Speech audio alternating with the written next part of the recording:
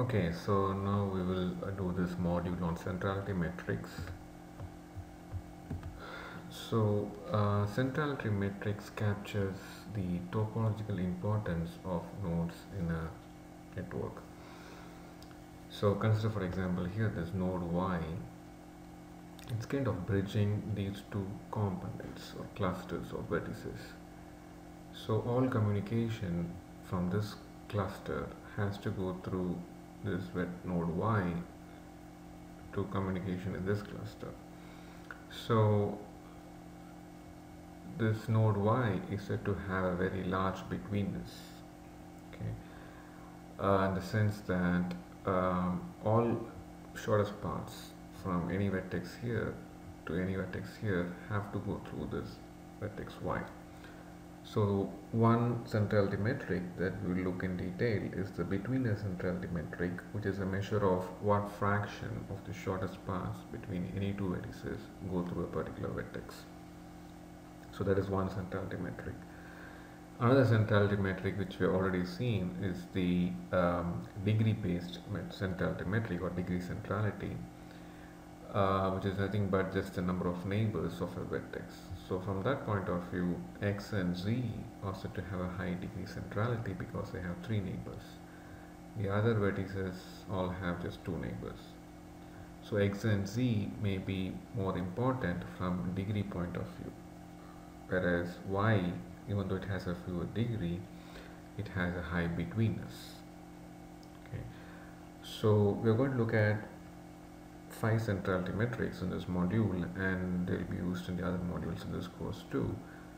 So each centrality metric captures the importance of a vertex in a certain context and it may be a different context uh, where the vertex like so in one for one centrality metric may may indicate one vertex is very important like between betweenness indicates y is very important thus degree indicates why it's not that important.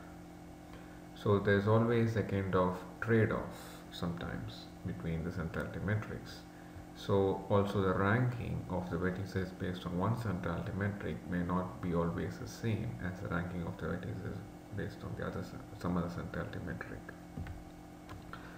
So we are going to look at um, two broad categories and then a hybrid category that brings together the best of these two. So the degree based centrality metrics in which you will see the degree centrality itself is just a measure of the number of neighbors for a vertex and then the eigenvector centrality metric which is a measure of the degree of a vertex as well as the degree of its neighbors. So it again captures degree in one way or the other. Then the shortest path based centrality metrics in which you will see the betweenness centrality matrix where uh, the betweenness is a measure of the number of shortest paths a vertex is part of. Whereas closeness is a measure of how close is a vertex to the rest of the vertices in the network. Now we look at what is called hybrid centrality metric that brings together the best of the degree and shortest path centrality metrics and we'll call it as a local clustering coefficient based degree centrality. Um, so we have not yet looked at what a local clustering coefficient is but uh, once we look at it we will be able to put together that along with the degree.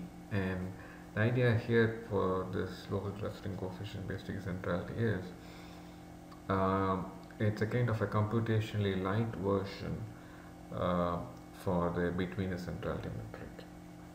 Okay? And we'll see that when we look at that metric in detail so we'll stop with this and look at another video